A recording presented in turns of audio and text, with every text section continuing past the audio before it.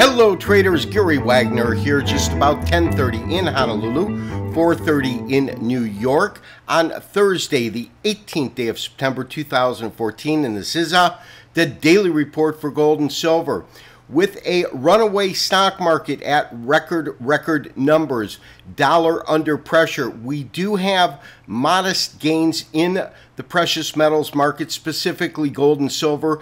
Palladium and platinum are off just a little bit. First to gold currently trading up about $2 $2.50 1226 and change. The high 1227.50 the low 1216.20 Silver also trading moderately higher on the day. In terms of the current print, that's sitting at 1852. When we look at the high, that's 61, 1861, and a low of 1826. More on silver in just a little bit. I want to start today's show by taking a look at our daily chart. This, of course, is the cash market in gold. Interesting candlestick that we're looking at Let's go ahead and blow this up. But you can see that we've got a very, very small bodied candle and actually rather sizable tails. It is absolutely doji-esque, meaning it's the open and close are not identical, but they're very, very close. When we consider the kind of activity we have seen in the market, meaning last week having a dramatic sell-off five days in a row with lower pricing, Monday and Tuesday having that little clip up yesterday's dramatic fall. Here it is whether it is short covering or attempts to form a base in the market.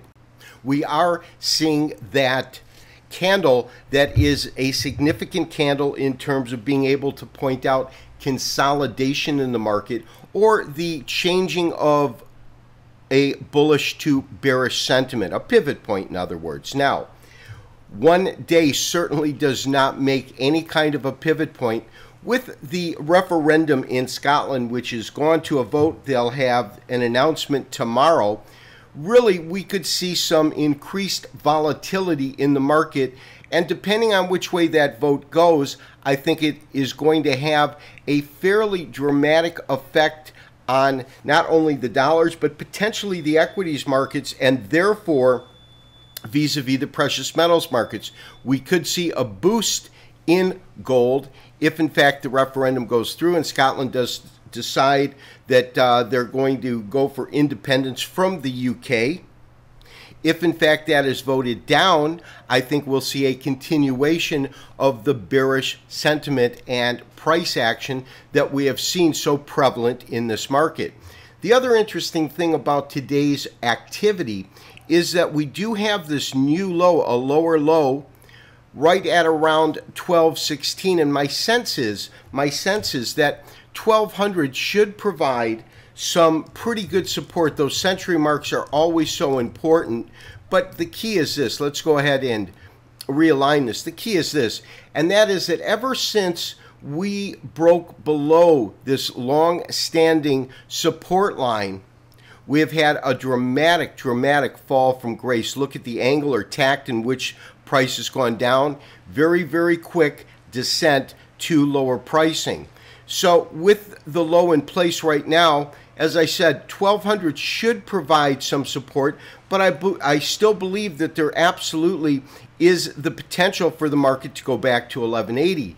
The key is whether or not we'll find support. And I really think that traders are looking to see what happens in Scotland is some sort of impetus or not so much an excuse, but a reason to either bid gold prices dramatically higher or lower, depending on the outcome of today's vote. So we are looking at a daily chart. This is the cash market of the Standard & Poor's 500. You can see, see this dramatic rise that we've had currently trading up on the day the market has closed this is already into the S&P futures or aftermarket and we have had some highs that have come in in this area we've had this one close here but we have a new historical high in the Dow Jones Industrial and I believe also in the S&P with that in mind, the fact that we saw gold actually eke a small gain today, my sense again is that it's probably short covering. But as I said, there's a wild card, and that wild card right now is Scotland. Now, when we take a look at the long-term view of the market and to do that I've pulled up the weekly chart and of course this weekly chart also has our compression triangle absolutely clear and utter break to the downside as it broke below these this support level here.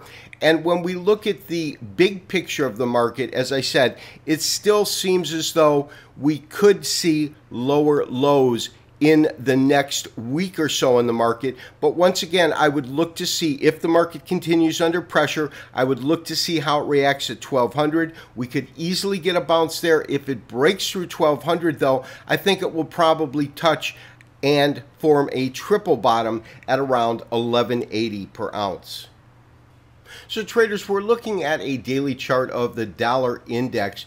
We touched upon this briefly at the beginning of the show, but we talked about the fact that there is this level of potential resistance up at, on a technical basis up at around 85. We identified that based upon this particular top, which was a record high over the 2013 calendar year after succeeding the previous high just above 84, call it 84.20, 84.30. You know, Paul Volcker used to say, trees don't grow to the sky. They never have and they never will. Talking about the fact that runaway markets to the upside have a tendency at some point to top out. I guess he didn't look at a lot of the redwoods.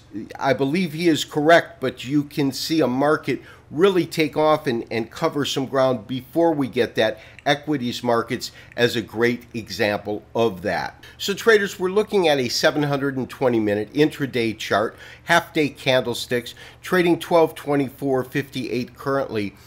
And you can see these doji-like candles. We do have two of them right here. If I can just widen that a little bit, you do have two here.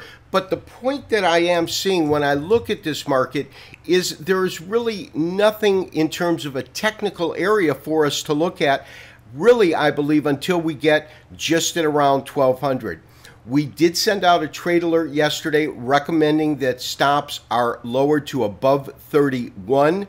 And the reason for that, you can't see it as well on an intraday chart like this, but what I'm looking to do is protect us from this market moving back up, and that is where I am currently pegging our resistance at. So, recommendation maintain our short position in gold.